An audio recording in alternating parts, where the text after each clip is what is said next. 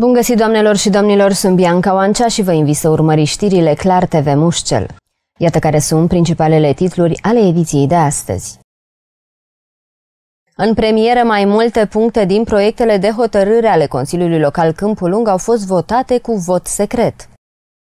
S-a ridicat la ceruri ultimul veteran de război din comuna Lerești. În octombrie ar fi împlinit 103 ani. Galben-verzi au frânt aripile echipei lui Mititelu, CS Mioveni, FCU Craiova 1-0. Un accident rutier a avut loc marți dimineața în comuna Mărăcineni, acolo unde un microbuz de marfă a părăsit șoseaua și a izbit un gard din beton. Conducătorul auto se afla în stop cardiorespirator, însă cu toate manevrele de resuscitare acesta nu a mai putut fi salvat, iar pasagera din dreapta s-a ales cu multiple leziuni. Un bărbat de 48 de ani din orașul Potcoava, județul Olt, care conducea o autoutilitară pe DN73 în localitatea Mărăcineni, a pierdut controlul asupra direcției de deplasare, a părăsit partea carosabilă și a intrat în coliziune cu gardul unui imobil. La fața locului s-au deplasat pompierii cu o auto specială de intervenție, un echipaj al Serviciului de Ambulanță Județean și un echipaj smurd de prim ajutor calificat de la detașamentul de pompieri din Pitești situație de urgență Argeș și a fost solicitat să intervină pentru un accident rutier. La locul intervenției am găsit o auto utilitară intrată într-un gard, șoferul era inconștient, iar cel de-al doilea pasager prezenta uh, multiple traumatisme. Am ajutat la extragerea victimei și au fost predate echipaje de prim ajutor medical. În urma accidentului au rezultat două victime, conducătorul auto care a fost găsit inconștient și căruia i s-au efectuat manevre de resuscitare însă fără niciun rezultat, fiind declarat decesul, și pasagera din dreapta, o femeie de 45 de ani, tot din aceeași localitate, care a fost descarcerată de pompieri și preluată conștientă de către echipajele medicale.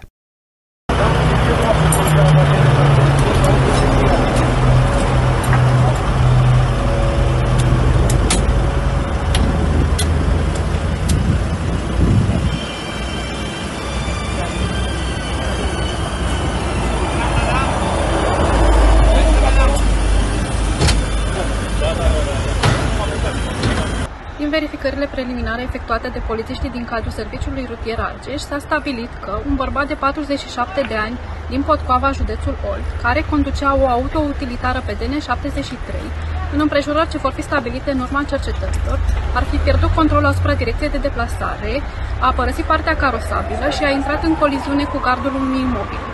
Din accident a rezultat decesul conducătorului auto și rănirea gravă a pasagerei, o femeie de 45 de ani din aceeași localitate. În cauză va fi întocmit dosar penal sub aspectul săvârșirii infracțiunilor de ucidere din culpă și vătămare corporală din culpă, iar verificările continuă pentru stabilirea tuturor împrejurărilor în care evenimentul s-a petrecut.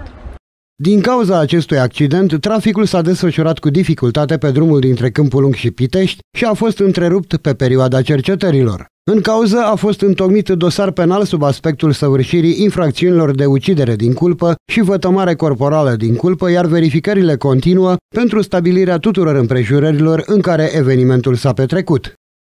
142 de pompieri români cu dotările specifice pentru intervenții în zonele cu incendii de vegetație și pădure s-au reîntors în Grecia pentru a-i ajuta pe pompierii eleni în lupta pe care o duc de aproximativ două luni cu incendiile devastatoare de aici. Salvatorii militari români au de îndeplinit misiuni de localizare și stingere a incendiilor acolo unde li se cere ajutorul. Din cauza reizbucnirii focarelor de incendiu în Grecia, un al doilea modul, format din 142 de pompieri români, 8 autospeciale de stingere incendii de pădure, 3 cisterne, un centru de comandă, două containere multirisc, un autocar de intervenție precum și alte mijloace de sprijin, printre care și o dronă folosită pentru survolarea zonelor în care se intervine, se află în țara zeilor. În componența modulului sunt și 10 pompieri arceșeni din cadrul detașamentelor de pompieri Pitești și Câmpulung, alături de auto speciala de stins incendii de pădure de la detașamentul de pompieri Câmpulung. Pompierii români au avut misiunea de a asigura protecția a trei localități din zona Atica. Salvatorii au acționat pentru limitarea flăcărilor astfel încât propagarea incendiilor să nu pună în pericol comunitățile. Dispozitivul de intervenție a fost format din 8 mașini de stingere incendii de pădure, 4 cisterne și un vehicul utilitar 4x4 UTV. Totodată, șase salvatori din cadrul Unității Speciale de Intervenție în situații de urgență au avut misiunea de a asigura alimentarea autospecialelor cu apă, precum și crearea de culoare pentru limitarea propagării incendiilor cu ajutorul drujbelor. Un rol important în misiunea desfășurată este constituit de supravegherea și monitorizarea focarelor de incendiu din aer cu ajutorul unei drone. Acest mod de lucru creează o imagine de ansamblu și facilitează deciziile luate în timp real pentru a proteja atât echipele de intervenție, cât și pentru a urmări frontul flăcărilor. Pompierii militari români au fost împărțiți în trei echipe care au acționat în zone diferite. Locurile vizate se aflau în zona muntoasă, care a solicitat la maxim tehnica de intervenție cu rute greu accesibile. Autospecialele pentru stingerea incendiilor de pădure și-au dovedit utilitatea, ajungând în apropierea zonelor afectate, unde pompierii români și eleni au intervenit pentru localizarea și lichidarea focarelor ascunse, rămase în urma incendiilor devastatoare. La solicitarea ofițerului de legătură elen, forțele și mijloacele române au fost dislocate în două zone distincte, respectiv zona Criftes și zona Vilia. 8 auto speciale de stingere, 3 cisterne, un camion de intervenție cu rezervă de apă, un UTV, 5 auto speciale de primă intervenție și comandă, un container multirisc și o echipă pentru monitorizare aeriană au fost prezente în cele două zone. De asemenea, în zona Vilia a fost prezent și asistentul medical din cadrul modulului, totalizând 61 de pompieri militari cu 18 mijloace de intervenție. Toate misiunile au fost executate în strânsă legătură și bună colaborare cu pompierii greci. Echipajele pompierilor militari români au monitorizat în permanență și au asigurat protecția mănăstirii Ecclesia Profitis Ilias. Astfel, 11 militari cu o auto specială de stingere, o cisternă, un autoturism de teren și un UTV au stat o perioadă mai îndelungată pentru ca obiectivul respectiv să fie în siguranță. Pompierii argeșeni s-au confruntat cu un val de incendii de vegetație în weekendul care tocmai s-a încheiat. În cele trei zile, militarii au intervenit pentru stingerea a 14 incendii. Flăcările au provocat pagube și au mistuit, printre altele, pom fructiferi și fân. În weekendul trecut, arderile necontrolate din județul Argeș au afectat o suprafață de aproximativ 38.000 de metri pătrați. Pompierii argeșeni au fost solicitați să intervină pentru limitarea efectelor unor incendii care au cuprins circa 1000 de kilograme de deșeuri din plastic, 3000 de kilograme de fân și aproximativ 90 de pomi fructiferi. Incendiile au fost în zona localităților Mozăceni, Călinești, Lunca Corbului, Rociu, Ștefănești, Rătești, Tigveni, Curtea de Argeș, Mioveni și Băbana. Un alt incendiu a izbucnit pe A1 în imediata apropiere a carosabilului, iar pentru lichidarea acestuia, pompierii au intervenit cu două auto speciale de stingere. Flăcările erau întețite de vânt și le făcea să se propage cu repeziciune prin vegetația uscată. Au ars aproximativ 10.000 de metri pătrați de vegetație uscată și circa 200 de kilograme de deșeuri din plastic și cauciuc. Cauza probabilă de izbucnire a incendiului la acest incident a fost o țigară care a ajuns în vegetația uscată. În total au avut loc 14 incendii de vegetație. A doua oară a fost cu noroc. Cam așa se poate intitula episodul cu ședința extraordinară de Consiliu convocată de administrația locală la Câmpul Lung. La prima întâlnire a consilierilor nu erau semnate de către aceștia procesele verbale din comisii, iar în cea de-a doua, pentru a nu mai exista discuții, în premieră s-a trecut la votul secret. După o încercare eșuată la sfârșitul săptămânii trecute de a susține ședința extraordinară a Consiliului Local din Câmpulung, executivul administrației locale a rezolvat deficiențele și consilierii s-au întrunit într-o altă ședință luni după amiază. În ședința de vineri, care a fost suspendată din cauza unor procese verbale ale comisiilor ce nu erau semnate de membrii acestora, primarul Elena Lasconi a ținut să sublinieze faptul că nu există colaborare și seriozitate din partea aleșilor locali. Am ajuns să ne certăm degeaba pentru că nu putem să votăm. Simplu. Nu este state, uh, nu este blidarul, nu este comisia. Superb. Constatăm acum. Nu, nu, uh, pe speța asta. Ce anume? Cine? A anunțat cineva pe cineva?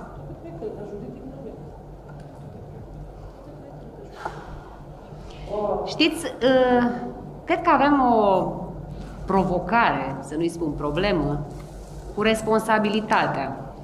Revenind la ședința de luni, cele șapte proiecte de hotărâre de pe ordinea de zi au fost validate de cei 12 consilieri prezenți la ședință. Ca noutate pentru desemnarea comisiilor, dar și pentru validarea unui șef de secție de la Spitalul Municipal, s-a recurs la votul secret. O premieră în ultimii 30 de ani care mai mult a încurcat consilierii cât și angajații primăriei care se ocupau de distribuirea buletinelor. La aprobarea regulamentului privind acordarea de fonduri nerambursabile de la buget pentru proiecte sportive, consilierul Dan Shain a punctat faptul că este foarte târziu ca acesta să fie aprobat și că se vor crea discuții. Apariția acestor norme și reglemente cu mult timp după aprobarea bugetului, ceea ce, din punctul meu de vedere, devinge un lucru esențial. Că ce s-a alocat până acum, s-a făcut arbitrar. Iar pentru că s-a făcut arbitrar, înseamnă că n-am fost transparenți. Și am promis că vom fi transparenți toți. Și mi-asum solidar cu administrația publică lipsa de transparență. Dar nu putem critica lipsa de transparență a unora și să o înlocuim cu lipsa de transparență a noastră. Din punctul meu de vedere, criteriile pentru toate statele evenimentele 2500. au fost publice. Deci, așa cum sunt aceste două alternative. Aceste două alternative sunt excelente. Așa trebuie să lucreze o primărie. O piele, frumos, cu criterii, transparent, nu se supără nimeni, nu se bănuiește că a ceva pe ochi frumoși sau pe uh, relații. Din păcate, tot ce s-a întâmplat până acum se lucrează în arbitrar. Și la celelalte șase proiecte de hotărâre au fost discuții, dar nu pentru a schimba ceva în proiect, ci mai mult pentru a sugera punerea în aplicare. Prin urmare, au fost aprobate ghidul solicitantului pentru activități non-profit de interes local, asocierea primăriei cu Brothers Motorsport pentru desfășurarea competiției de viteză în coastă, sau aprobat măsurile pentru desființarea construcțiilor ilegale de pe domeniul public, a fost validat candidatul care a câștigat concursul pentru un post de șef de secție la Spitalul Municipal și, nu în ultimul rând, modificarea organigramei primăriei. Peste mai puțin de două luni, Paraschiv Simon, ultimul veteran de război din Lerești, ar fi împlinit 103 ani. Timpul nu a mai avut răbdare și sufletul său s-a ridicat la ceruri pentru a-și întâlni foștii camarazi. A fost un model pentru întreaga comunitate și încă din timpul vieții, o stradă din localitate îi poartă numele. Sunt tot mai puțini cei care au scris istoria cu arma în mâini. De curând a trecut la cele veșnice și ultimul veteran de război din comuna Lerești, Paraschiv Simon. Pentru toată comunitatea lereșteană, acesta a fost un model, iar dispariția lui înseamnă mult pentru cei care l-au cunoscut. Anul trecut, pe 5 octombrie, împlinea 102 ani și era sărbătorit ca unul dintre puținii supraviețuitori care s-au jertfit pentru libertatea țării. Paraschiv Simon a luptat de la începerea războiului până când acesta a luat sfârșit. A avut o viață destul de zbuciumată și a fost unul dintre cei care au contribuit la legenda autoturismului Aro. Încă de când era în viață, în comuna Lerești, există o stradă care îi poartă numele. Acum eroul lereștean s-a dus să se întâlnească în ceruri cu foștii săi camarazi. Cu durere în suflet, vă anunțăm că astăzi ne despărțim de ultimul veteran de război al Comunei Lerești, domnul Paraschiv Simon. Am primit vestea, știam de starea dumnealui că în ultimul timp nu prea se simțea bine, dar din păcate Dumnezeu a hotărât că începând de astăzi să locuiască în rai. Lereștiul a rămas mai sărac, era ultimul veteran de război, la vârsta de 103 ani. Uh, Dumnezeu să-l odihnească și sincere condoleanțe familiei. Înmormântarea va avea loc joi, 26 august, când va fi condus pe ultimul drum de rude, prieteni și cu onoruri militare. Dumnezeu să-l odihnească în pace.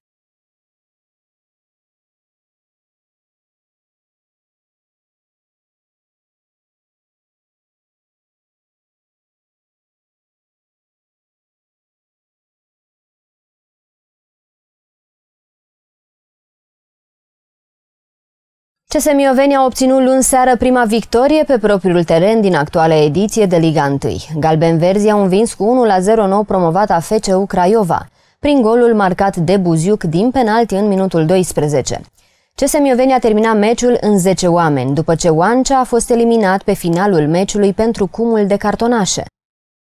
Mioveniul a învins meritat FCU Craiova a lui Mititelu cu un gol marcat în prima repriză și care a rezistat pe tabelă 78 de minute regulamentare plus încă 5 de prelungiri. Galben Verzi câștigă derbiul nou promovatelor și îi provoacă lui Adrian Mutu a treia înfrângere pe banca oltenilor. Elevii antrenați de Alexandru Pelici au deschis scorul rapid în minutul 12, după ce Kovacic l-a faultat pe Bogdan Rusu în careu. Buziuc a înscris fără emoții de la punctul cu var. Craiova a făcut o primă repriză extrem de slabă, nereușind să-și creeze nicio ocazie de gol la poarta lui Ducan. Adrian Mutu a făcut trei schimbări la pauza meciului pentru a anima jocul echipei sale și a reușit, oltenii fiind mult mai activi pe faza ofensivă. Minutul 62 a adus cea mai controversată fază a meciului. Vieira a reușit să egaleze pentru Olteni după ce îl lobase superb pe Ducan, dar reușita portughezului a fost anulată de tușierul Sebastian Gheorghe. Oltenii au căutat în continuare golul egalizator, același Vieira mai având o ocazie importantă.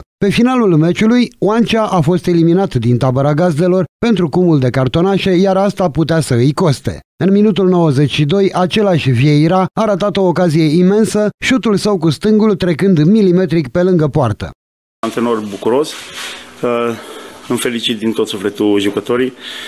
E o victorie foarte mare pentru noi, sunt trei puncte mari împotriva unei echipe Uh, așa cum am spus, deși era nou promovată, ca și, ca și noi, au avut o altă strategie, au adus jucători de mare valoare și asta s-a, văzut în momentele când uh, ne-au prins dezorganizați și în momentele când nu a funcționat dublajul așa cum trebuie. Au avut momente în care ne-au prins unul contra unul și atunci jucătorilor au putut să facă diferența.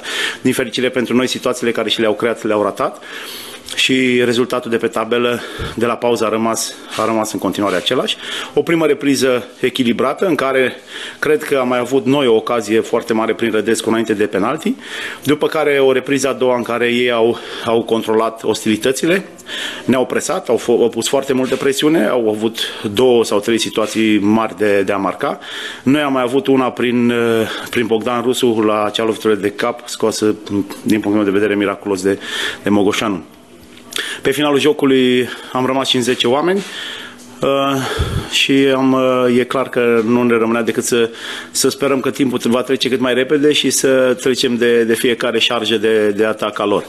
Ne-a ajutat, uh, ne-a ajutat puțin și, și soarta în momentele când nu am fost inspirați, dar una peste alta am muncit mult pentru această victorie și îmi felicit din toată inima jucătorii. În urma acestui rezultat, oltenii rămân cu 7 puncte, în timp ce Mioveniul o egalează pe CSU Craiova cu 9 puncte.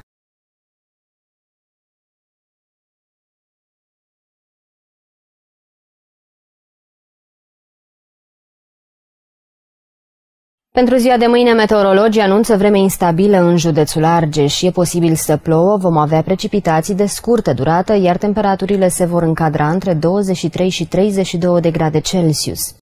În nordul județului avem maxime de până la 28 de grade. Avem la Dragoslavele 25 de grade, la Cetățeni 26 de grade, la Corb, dar și la Câmpulung se vor înregistra temperaturi de până la 25 de grade Celsius. Și în sudul județului e posibil să plouă, iar temperaturile maxime de aici ating valori de până la 32 de grade Celsius.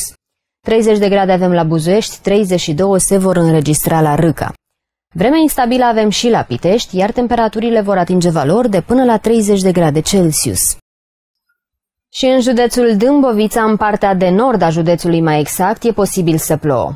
Temperaturile de aici, din nord, se vor încadra între 22 și 27 de grade Celsius. 27 de grade avem la Voinești, iar în sud temperaturile maxime ating valori de până la 32 de grade Celsius. Aici nu sunt semnalate precipitații. La Mogoșane avem valori de până la 30 de grade, la Petrești 31 de grade, iar la Vișna se vor înregistra 32 de grade Celsius. Vreme predominant frumoasă avem și la Târgoviște cu temperaturi de până la 30 de grade. La noapte va ploua la Câmpul Lung, iar temperaturile se vor încadra între 14-15 grade Celsius. Mâine, dar și poi mâine avem vreme instabilă la Câmpul Lung, e posibil să plouă, iar temperaturile se vor încadra între 25 și 23 de grade joi, iar vineri temperaturile cresc din nou până la valoarea de 25 de grade. Atât pentru astăzi. Eu vă aștept și mâine cu alte informații despre vreme.